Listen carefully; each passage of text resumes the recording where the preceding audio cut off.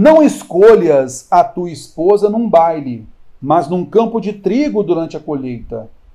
Se trocássemos o imperativo negativo não escolhas pela forma afirmativa, a forma verbal correta seria: Não escolhas a tua esposa. Então nós temos o imperativo negativo, olha só a aula de verbo aí, né?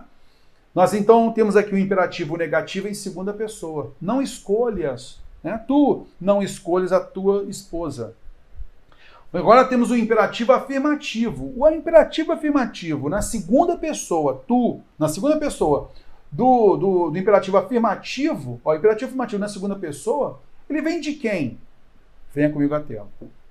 Aí você vai pegar o verbo escolher e vai conjugar esse verbo escolher no presente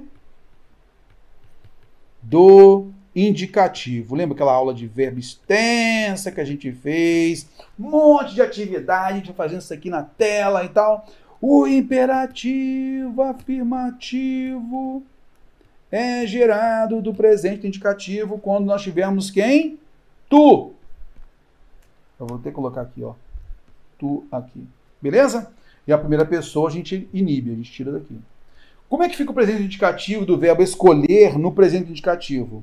Eu escolho, tu escolhes, ele escolhe.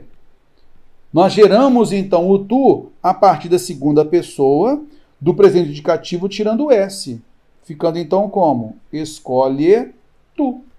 Escolhe tu. Nesse caso, nós temos aqui a alternativa D de dado. É ela correta.